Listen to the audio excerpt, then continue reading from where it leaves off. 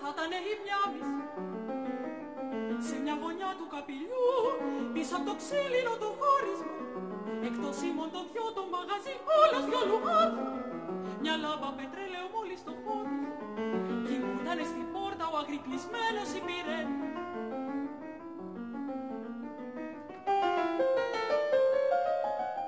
Δεν θα μας έβλεπε κανείς,